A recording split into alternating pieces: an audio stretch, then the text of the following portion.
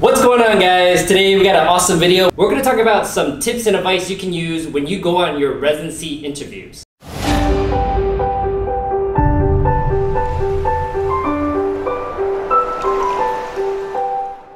Okay, so today we have Dennis over here. Uh, you've seen him on some of the previous videos, but we're gonna go and just give you some tips and advice on how to approach your interviews. So we're gonna go ahead and start with just some background on our match statistics. Go ahead and start with Dennis. Ryan, I didn't. I don't think I can match your level of enthusiasm here. This is, this. I, I am pretty excited though. This is the first time Brian has invited me to a video formally. Mhm. Normally it's kind of like last minute. It's like, hey, you want to join a video? But Brian today is Formal decided, invitation. decided to have a formal invitation on my Outlook calendar. So I appreciate that, Brian. Um, but you, you you mentioned match statistics, and and I wanted to just kind of bring up that, you know, getting into residency isn't the hardest thing in the world, but you know it will take up a lot of your time and it will take up um, definitely a lot of your mental energy. Um, and so just be prepared for that. Um, you know the statistics that Brian will talk about in a little bit may seem scary, but you know I think there's always options um, out for for you out there, regardless of kind of whatever your your interests are. So um, Brian, you wanted to mention the, the specific statistics, right? And we, we can, I, I guess like the main thing is I'll go into a more detailed video, uh, a, a more detailed description of those statistics in a future video. But I think the general consensus, for the most part, is about 66% matching rate. PGY ones, I can't remember PGY twos, a little higher than that. But uh, more so just like on our background, on what our match statistics were. Oh yeah, absolutely. So um, I did my PGY1 residency in Indiana University Health. Uh, my PGY2 informatics out at the Ohio State University Wexner Medical Center. Um, out of my P4 year in pharmacy school, I actually applied to seven programs, um, interviewed with five of them, and matched my number one choice. Um, in my PGY2, I, I um, applied for also seven programs, and I believe I interviewed for six and match my number one choice. So um, it's interesting that, that discussion about how much you apply to because you know for everyone you apply to you gotta have a personal statement. It's a lot of work. So Mhm. uh, like how many did, did you apply to? Uh, so Versus- Dennis has way better statistics than I do. Uh, PGY one, I applied to seven programs. I only got three interviews, um, and I obviously didn't match my number one choice. I scrambled for my PGY one. For PGY two, I applied to seven programs. I got all seven interviews, but I declined one, and I didn't match my first choice. But but in terms of the absolute number, I think you know a lot of people have asked me kind of what the question, what number would be, and I personally feel like if you're over eight, that's too many for applications. I don't know. What do you think? Yeah, no, yeah. I, mean, I kind of like think about. I would say seven is also good. a lot too. Seven is a lot. I, I mean, I applied to seven, and then I cannot, I could not fly to all seven because it was Right. all in February. You know, that's too much stress. Yeah. Um, the most I heard was actually one of our classmates. I think it was like twenty or twenty-five. She only got one interview. So Well, that because they probably copied and pasted every personal statement because you can't write 20 unique personal statements. Absolutely, you gotta personalize that. Yeah. But, um, okay, so moving on, let's talk about just like some general things, very basic things, and there's like two points I want to convey, just like your general competition. So I know you have some points you want to mention. The points that I want to convey is like number one, the number of spots. Uh, let's say there's four spots for PGY1. Typically, a program, at least what I've seen, anecdotal, uh, is that the program will invite four times, roughly four times, the number of candidates to call out to interview. So if there's four, about 16, give or take, two, three, four, whatever it may be. Um, so that's one point I want to convey. And then the, the applicant pool usually can go up to like 100 to 200, so it's a lot of people applying to the programs. And then the second point I want to talk about is that it really is, at least in how I consider it, is a level playing field. Once you're invited there, it doesn't really matter. You don't compare GPAs at that point. You don't compare um, your clinical rotations. It's how you interview, how you fit the program. The fit is really, really important. So those, like, those are the two points I want to kind of um, convey about the general competition to expect.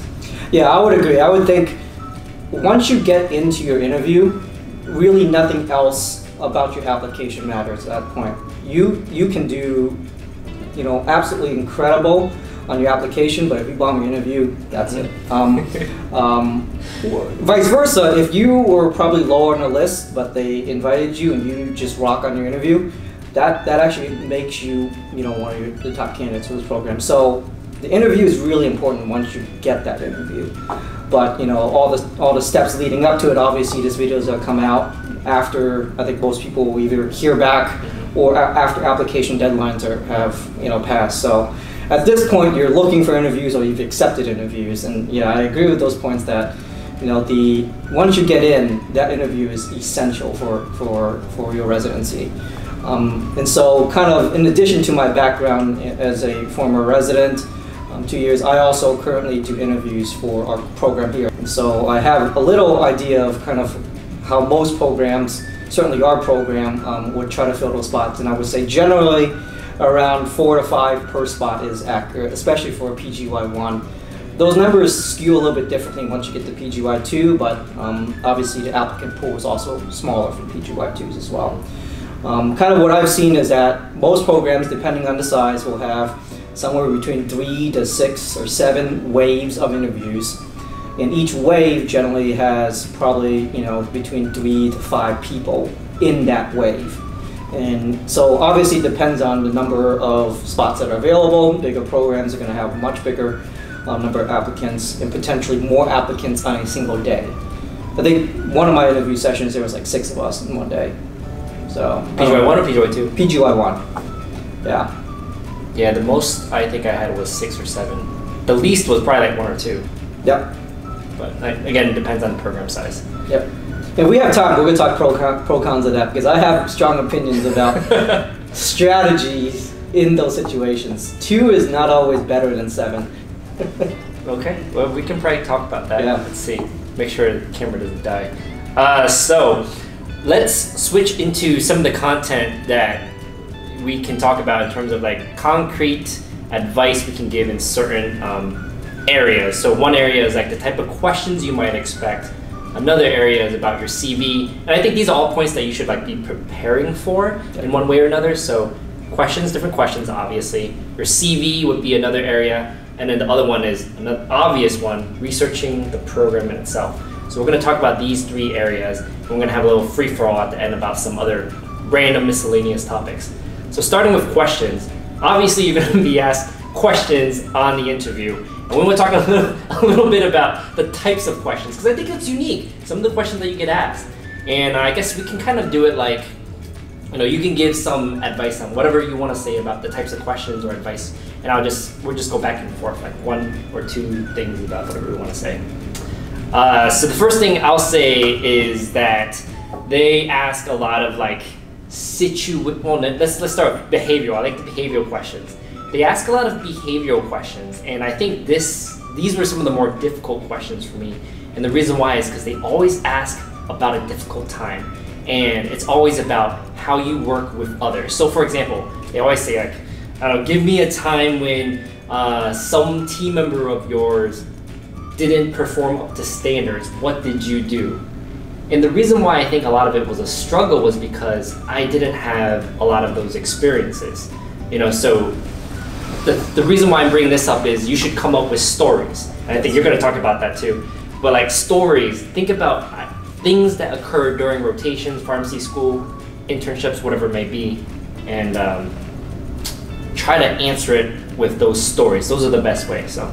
Yeah, and so that's a good point. I think you know there there's this maybe like you know saying out there that says you know show don't tell. Um, don't tell them that you have you know great attention to detail. Don't tell them that oh, you're, you're excellent in, in management of sepsis. You know, give them an example. Um, being a P4 on your rotations, is, one of my preceptors taught me this trick. If you thought, if you go through a day and you encounter something unique, something special that you've done or you've seen, mark that down in, in a notebook or something like that. And those become the basis of how you will answer questions. Now, if you pick among all of those questions, all those scenarios, think about what questions they might fit. So, if it's a stressful situation, make sure you have your stories down packed for when they ask you, which they will. give me an example of how you handled a stressful situation, or if you dealt, or a specific scenario that you remember of dealing with a difficult coworker. They're going to ask you these questions. You can find a million of them on interviews, interview questions out there on Google. I mean, they're going to ask you behavioral or situational based questions. Um, kind of the unique thing that I had a lot in my interviews was not necessarily situational, which obviously we can all prepare for, get those stories out there, but kind of role playing. So, like, okay, pretend you are now the pharmacist you know, on rounds, and then you have a doctor recommend this in this situation. You know, tell show me how you would, you know, react in this situation. And those, you know, you can't rely on your crutches, which are your stories that you have based on your experiences. You have to really be creative. And those are the ones that are, for me, a little more challenging to answer. I don't know if you got a lot of those or not. I think it was only like one or two programs that had it, and then they honestly, I think they were a little easy. I got interviewed basically by two ICU pharmacists, and they just walked, pretend you're a pharmacist. Uh, here's a patient case. It was like has asthma. Okay, what would be your first line treatment? What happens if they're non-compliant, or what happens if they have this side effect? Like, what are the routes you would go down? Um, I thought they were a little, they went a little easy. Um, sounds like you had more difficult questions. My clinical questions have always been very easy, and to be honest, most of them have been either examinations like actually like doing calculations or doing multiple choice, um, or computer-based tests. Those are the most common. Yeah, yeah.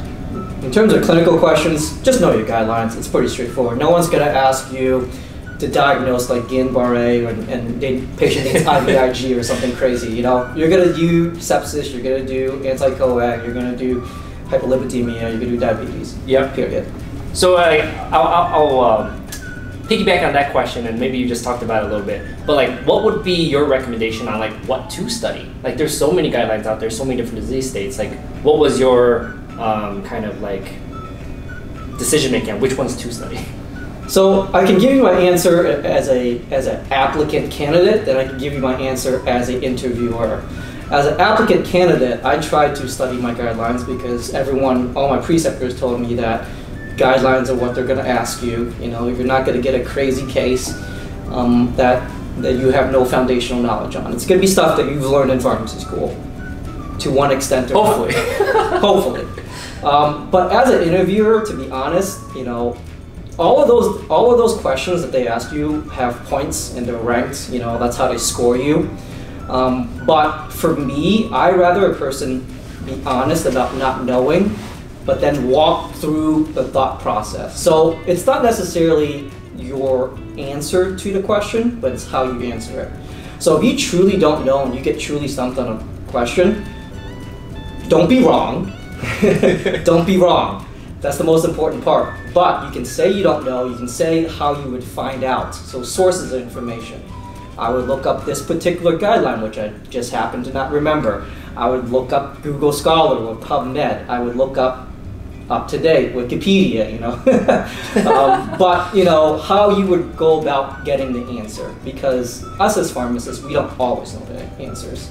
So, I if you don't know, tell them how you would find out. If you definitely don't, definitely don't tell them anything that's wrong. Being wrong and being confidently wrong is worse than not knowing. uh, two things on that. Uh, completely agree with that I think confidence is also important. Like you don't want to be like ah whatever or stumbling through your words. You want to be confident. Like you know what, I don't know. You know, but this is how I would approach this question. And certainly the thought process is so important. And the second thing I thought you brought up that was really good, and I forgot that I actually did it, was like going back to the little things that you jot down along the way. I started like a rolling Google Doc on every single rotation of every single thing I did, and I'll go back and talk about those stories and you know just use those as the basis because you forget. There's so many things you do on rotations that you forget, so that's why I did. I kept a running list of it on a Google Doc. Um, okay, anything else about questions per se? You want to move on? What else you got? um, I don't know. Let me see if was there any weird things that they were. Well, let's let's let's leave that for the miscellaneous. There's some other. There, there are weird things. Those are weird things. Let's There's a lot of things. let's say that. That should be the basis for most types of questioning. Let's let's talk about like the CV. Like, what was your experience? Like, why well, maybe you, you agree or don't agree. I think it's important that you review the experiences you've had on your CV. Um, do you agree or? Absolutely. Okay. So as an interviewer, if it's on your CV, it's fair game for me to ask. So things to leave out: non-pharmacy related experiences. um, they're not related to pharmacy, I don't care if you worked at Publix for 10 years of your life. Florida people will know. Pub subs are the bomb. Yes. But, you know, doesn't matter. But if you put a poster or a presentation on there, that is free game for a question. And if you don't know anything about that poster or you don't remember, it's probably a good idea to exclude it. Um, you know, part of that is if you don't remember, clearly it wasn't, you know, a big enough, uh, you know, project in your life and your education. Two, it looks really bad when you can't answer a question on your CV. Yeah. So before you go to your interview, delete everything you cannot answer with more than a at least you know couple sentences, um, something to speak to. Can't be a one-word answer. Um, Yeah. So yeah, CV, everything on your CV is important. Everything is fair game, and me as an interviewer, I would ask about it. Okay. Uh, well, I'll, I'll say a couple of things, uh, and then you see if like there's anything you want to piggyback off of. So completely agree. Obviously, that's why I'm talking about why we want to review your CV. You definitely should know your experiences. I know for myself, like the presentations I did, the projects I did, I did go back and actually look up the statistics. Like, uh, what did I do on this project? Was there any statistics that came from it? What was the outcome that came from it? So I was able to speak on it. Something else um, I don't know how you feel about this. I don't remember if I did it. I think I didn't. Oh, I did it. That's right, I didn't. So what was cool though? So a lot of people, when I was asking them about the CV, they would say, obviously study your CV, and they said to go a step further to print them all out, like presentations, journal clubs, projects. I was like, you know what? I'm not gonna do that. What I did, I copied you, and I did like, I did a website and I loaded all the presentations on Yes. there. So I brought an iPad to my presentations and I had them downloaded. And they were like, they were blown away by that. That was fantastic. That's what I did. So I think you that that whole process kind of takes it to a different level of how to stand out amongst your group of people you're interviewing with. I don't think any program out there will expect you to have all your content. Completely agree. But if you're able to impress them with that, you stand out. Now they're standing out in a good way and you're standing out in a bad way. I mean, that is standing out in a good way. That you have that and they can look at it, they can review it, they can see the quality of your work. It is important. Um, I did have a flash drive on me at all Mhm. times of all my stuff if I needed to pull it up. But I, I mean, obviously my website, which not everyone will have, but I do recommend it. Um, my website had all the stuff and it was on my CV, so they can go on the website and check out the stuff. But I also had a flash drive I mean, with my I think with my backups of all my Dropbox stuff. in terms of like the more feasible approach for the majority of the viewers, Yeah. that's actually a really good idea Yeah. to simply just load everything to a drop. That's that's good. Loading everything to a flash drive. Now that's dangerous because if they ask you to present on something you don't remember how to present on it, you Double-edged will fail. I wonder, have you heard? I don't remember if I heard people having to do that, like just present on something. Well, so we can talk about kind of the presentations and some of the other weird stuff they Okay, do. yeah. You know, that kind of is a nice segue, but you know, most places want you to just reuse a presentation. You're not going to have, please present on sepsis. Yeah. They're going to say, give us a presentation, whatever it might be. So that's an opportunity for you to really shine, but you really have to know that presentation well. Um. I haven't heard of any place to be like on the spot. Hey, give us a presentation. Like, oh boy, I have to create one or pull up from scratch or pull up from a previous one. I haven't heard that yet. Okay. I think that would be really unfair because, like, honestly, I've given presentations that if I try to give now with no preparation, I would just completely sputter throughout the whole thing. So, yeah. um, Okay. but you know, if you take that risk of carrying your stuff and you take the risk of having someone potentially see it, you better know it. Uh, let's let's transition over to the third part, which is like about a very obvious researching the program. Like, there's obviously a lot of things you can research. Um, I'll let you kind of start first in this one. What are some things you would recommend to research? What, what about the program? So why do we do research? It's because you have that awkward five to ten minutes at the ever, end of every interview for what questions you have. So, what questions do you have for us? If you ask a dumb question, it makes you look dumb. That's the honest truth. So, have good questions. How do you have good questions? Um, my way has always been the stalker way. Like, be the biggest stalker you can be. Um, and what I mean by that is most programs usually give you a list of who you'll be interviewing with. Typically, those people are you know high on some kind of ladder in the organization, whether they're actual preceptors or they've been there a long time. And if they're they've done those things, they're probably published or they're probably somewhere out on the Googles and the PubMeds of the world. Find out what they're interested in. Um, you know, you can't just ask administrative things about the program. Oh, how often do you have staff, or what kind of what's my staffing like? Ask real questions that are articulate and show that you have a true interest and a vested interest in, res- in researching the program. So what I've done is I always looked at what you know, what the current residents that they have precepted to either working on for that particular interviewer. So they're doing some project uh, or is asked about that project, oh, can I get involved, or is that something I have opportunity to, to do while I'm here as a resident? Um, people, you know, kind of do like when, when you look them up. um, it, it puts you in a different place because I would say that most candidates don't go to that length, and it's another kind of one of those things, along with having all your, you know, content, you know, making you stand out in a good way versus a bad way. I don't know. Did you do that same thing? I did, and I think it it's nice to sep- how you separate it. I think there's a bare minimum of what you should do, and obviously you research the program for the bare minimum to not ask dumb questions like, "Oh, do you guys have teaching certificates?" It's obvious that they do. But Don't ask a question that is on the resident website. So those are I would consider bare minimum, yes. right? And I think you know going to your point about like taking it a step further, I think it's also uh, with different programs' expectations. I actually learned this from Ryan. So I did only because of Ryan so I took, you know, going back to your point, they usually provide you a list of interviewers. You know, you know who they are. I stalked them. Yes, I did. You look up all their research on PubMed to see if they have any. They do love it. And what was surprising to me, most students, I would say, yes, they don't do it. So I think it's going above and beyond. Except when Ryan was talking to me about it, he said it's expected in admin programs. And I thought that was interesting. Or maybe I'm completely wrong. I just remember hearing that and I was like, really? So they, he was saying like it's pretty cutthroat where like you should be expected to know everything about this program you're interviewing with. You know, like all those people, like oh yeah, I remember you did this blah blah blah research in like 1982, whatever it may be. But yeah, I did it, and I think it really helps you shine. You don't throw it out there. I think it's situational.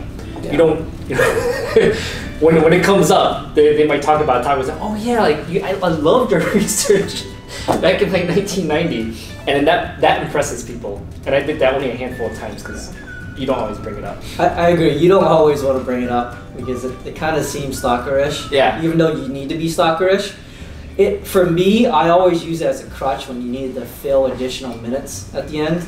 Say you have ten minutes of questions and you only have six, like five minutes worth of questions. Like, all right, we need to throw something out there. Mm-hmm. Um, you know, my opinion is that you should fill up that time. You can't just say, oh, yeah, I got no more questions. I'm good. Um, try to fill up that time. It just makes it a better conversation, in my opinion. I think another thing to add to this point in terms of like researching, aside from just researching the different interviewers, um, is to also look at, I mean, you're obviously looking at what they did, they will sometimes have a particular interest. Like I remember in one of the programs I interviewed for, they were infectious disease pharmacists, did a lot of infectious disease research. I was like, hmm, I should maybe know a little bit about infectious disease, some of the research, and just study up on those different areas. I think that helps guide some of those conversations because they might ask you a question about their research or something if you bring it up too. Um, okay, was there anything else about program research? No, just be a stalker. Find out who you're talking to. Um, know lots about them as much as you can. Okay. Don't ask questions that are on the website. Yes, bare minimum. You must know their. You should know their website in and out. That's really important. Okay, let's talk about like the miscellaneous bucket. Just like random things, tips, advice, or just things to be aware of. Uh, just let you start. Whatever, whatever you want to talk about. I had a lot more weirder interview situations in my PGY one than my PGY two like they're just off the charts weird. Um, you know, in terms of you know, programs wanted to, obviously these programs wanted to differentiate candidates in a very specific way. PGY ones get a ton of candidates, so they need a way to, to really differentiate amongst them other than just clinical questions because, you know, people are teachable even though they don't necessarily know the content right away. So I think that's why a lot of these programs did some of these things, but I was in situations where like one organization I was, you know, placed in a group team team building experience and all the preceptors sat around us and watched us interact in a non-pharmacy related scenario. I think it was like surviving on a desert beach and you get like six items and you know what how would you get out or something The Coliseum. that, you know so you know in those situations uh, they're gauging you know whether this person would be a leader whether they would follow whether they would recommend something if someone says something clearly wrong i mean so that's one of my weirder ones i don't know if you had Well, that's because his camera died Yes, the camera died. Sony A6300, 30, 30 minutes. When you film on it for 30 minutes before it dies. Um, okay, so let's see, a weird one. Um, you know, the weirdest one I heard of, I wasn't involved in it, but it seems pretty commonplace, was that they would have all the PGY1 residents come into a big auditorium and they played Jeopardy. So I think that is so stressful because you obviously are answering in front of everyone. And all the preceptors are there, obviously. Everyone is there. It's a big auditorium. It's almost like therapy class where you stand in front of the room and you answer. They get a mic, yeah yeah you know, and they, they answer. And so like people people say they, they have like nervous breakdowns. You have a mic, you don't know what to say. That I think that's a lot of pressure. Yeah. But um, that was probably the weirdest one I've heard of. Um, any anything else? I mean, there's we talked about like, some of the just like other random stuff that you might encounter. I mean, I had one where it was like a roll of six different interviewers, and they all had a situational role playing question. You know, one, I, I had to like console a mom that just lost her baby or something like that. And I was like, that's not even a pharmacist's job.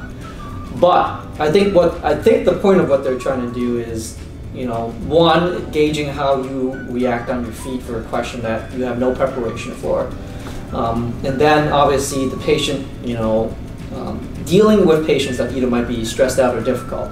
So you know, a lot of these have intents, and I know why they do it. They need to differentiate amongst candidates. But some of them, I wouldn't say maybe weird isn't the right word, but they're just not something you can prepare for. And so, you know, part of your interview process will have a lot of these. I would say, um, maybe not at every institution, but certainly those will come up. There's nothing you can do about them, but just be prepared for the possibility of some of these things that come out. Go, going along those lines, I think there's a lot of things you can study that are situational cases when you bring it out. So, for example, um, many of these interviews in PGY1 and probably PGY2 is they usually have you interview with a clinical group of folks and then an administrative group of folks. I think one of the things that I thought was really helpful, and coincidentally came out during our year, was studying the pharmacy forecast. Um, when talking to the group of administrators, there was a couple interviews where it was a panel of administrators and then also the candidates. I didn't like that. Know, it was kind of odd, but they would bring up obviously pharmacy practice things, big issues. Like right now we have 340B like being talked about left and right. It would impress administrators if you have some knowledge of 340B.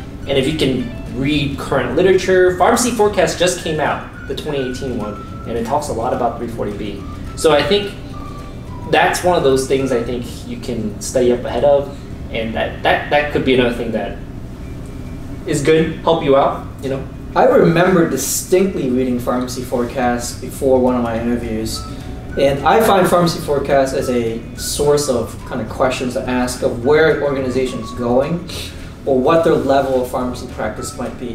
And so, you know, where are pharmacists involved, where they're not, where will, where will they be involved, you know, things like that. And, and you're right, there are distinct groups of individuals that you interview with, which is why looking through the list of interviewers is really important to understand who those individuals are, um, the position, title, etc. Because you don't necessarily want to ask a clinical person a very administrative type question that they might not have any involvement in. Just kind of, you know, there's they can probably answer it, but you know they probably prefer not to. You know, so it's important that list. Uh, two other things that I would say, and you can kind of prepare for it, is like on one of my interviews for PGY One, I had to do a journal club. Ooh. So it was it was kind of weird. So what it was perfect in a sense. I didn't tell them this obviously, but uh, they give you the journal club one week in advance. I think they rotate articles, so you can't know ahead of time what you're gonna do. So they give you the article ahead of time. You can obviously research it, read it, and work it up. Um, they gave me Calliston, and at that time I just finished doing a research project on it. Yeah, so I and this is what I would recommend to others. Obviously, if you know your journal club skills, you don't just read that article. You have to know the breadth of literature out there. So I did, and I think that's what made the interview go well is because you don't just talk about that article, you talk about everything else that's out there. So journal club is something that I had, and then the uh, what's that other weird one that I had? Uh, presentation. I think of presentation. I thought it was really unique, and this was probably my best presentation Oh, I I, gave. a lot. A PGY one? Oh, you, Yeah. you you did. I did it. I had a very easy one. So I had to give a five, and they, they purposely did it this way. I found out afterwards. I had to give a five minute presentation about myself.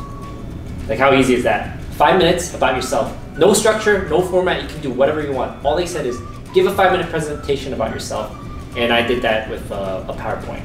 So I'll probably share that at some future video, but that's the only presentation I did on PGY one. I did a lot of PGY two, but not PGY one. I think I had to do something like three or four presentations my PGY one. Yeah. Yeah. It depends on where you go. I mean, obviously, every interview site will be a little bit different. yeah. But I think you brought up a point. You know, journal club. You probably did that with other people that are interviewing that day, right? Yeah. So here's my my take on that. If you are interviewing with only one other person, the only person you have to be better than is that person that you're interviewing with um, of that day. Because as an interviewer, as a program, you kind of think of people in terms of the days that they interview. So um, it it is to your benefit um, to actually have less people in your interview group because then you only have to be better than one person. but if you're in a group of like seven people, like me as an interviewer, me as a program, you know, I try to, I, I catch myself doing it, but you know, I tend to think of them in terms of the days and, and all, all the people that I interview that particular day. It's hard to be better than like six other people, you know. um, and especially if you're in a journal club situation or if you're in a group situation, it's really hard to like shine. But at the other on the other end of it, if you're not that great at interviewing, it's one other person that you're interviewing with, you can very easily look very bad compared to that one person. So, you know, if you're not a great interviewer, you, you may serve you better being in a group where you kind of get lost. I don't know if that makes any sense, or if you agree. I agree with that. Um, I don't know what you can really do about it. You can. I don't know that you can do much about it, but just kind of be aware of how something like that could be perceived. Yeah. I mean, I think I would be biased too if I saw two or three, however many, if it was more than one candidate, the one who obviously shines would be the one that sticks out in my mind. And obviously, I would consider them superior in that sense. So, I mean, I, I think the other thing, just in general, is to emphasize being confident on interviews. Yeah. Everyone's nervous, but, um, and I think the slightly arrogant might be okay. Not not arrogant, but slightly, just a sliver of it. You want to know what you're talking about, but also be confident to say you don't. When you don't, you say you don't, because they will call. you. that will look bad if you say something wrong. But know know what you know and know what you don't know is is kind of what I've been taught. Yeah. Um, you know, definitely be very clear when you don't fully understand something or you need clarification. Um, be clear about that. But what you do know, you need to say with confidence, um, without hesitation, without kind of stuttering, things like that. If you can avoid it. Now, obviously, everyone has kind of those ticks. I do too. I use um a lot. Um, and I say um um um um um um, um when I'm thinking. Um, but you, those are things that you can practice on, kind of avoiding, you know, those those verbal crutches to kind of get you through the next thought. Um, but you know, definitely don't be wrong. it's okay to not know, but it's not really that okay to be wrong. I don't So- even know how you would tell someone to improve their confidence or like how you can im- improve that at all.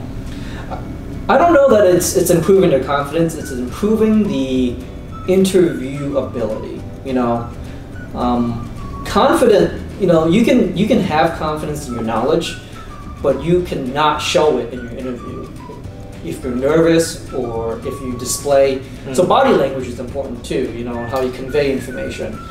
So if you have body language that shows like you're not really sure, you're uncertain about what you're saying, you may be very well know what you're talking about, but you don't. It doesn't come across that way. So that's why I don't know if confidence or arrogance is really the word, but it's more of like interviewing skills.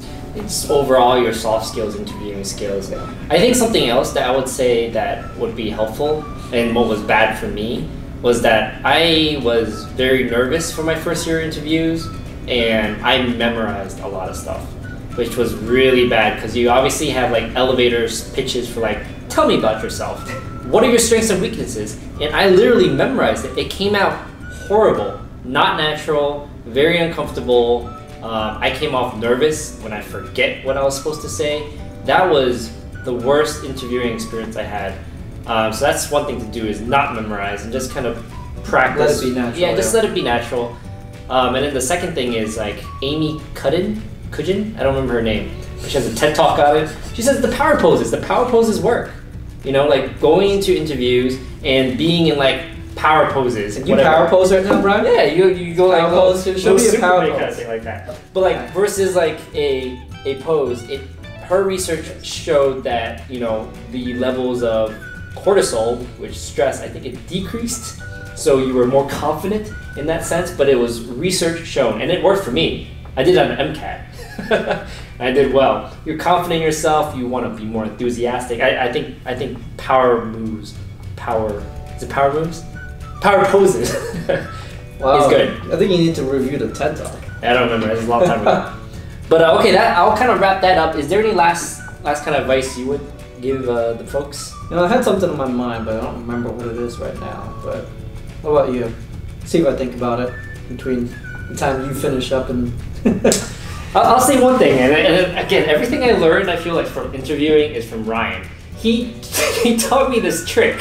He's gonna And he- love this video. he- you should send yeah. this video to him. He watched. I remember he watched one of them because I called him out on it. Uh, good way.